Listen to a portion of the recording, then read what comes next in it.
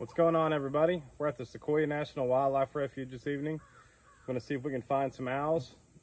So stay tuned and see what we get.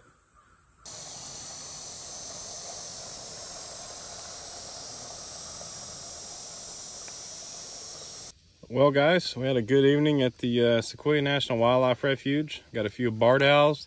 Uh, couldn't seem to find any of the great horned owls tonight. So hope you guys enjoyed it and uh, have a great weekend.